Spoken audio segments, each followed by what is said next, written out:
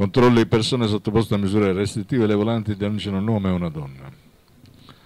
La Polizia di Stato ha effettuato dei controlli nei confronti dei soggetti sottoposti a misure restrittive della libertà personale affinché le stesse vengano puntualmente rispettate. Nel caso di inosservanza delle prescrizioni si rischia il ripristino della misura della custodia cautelare in carcere.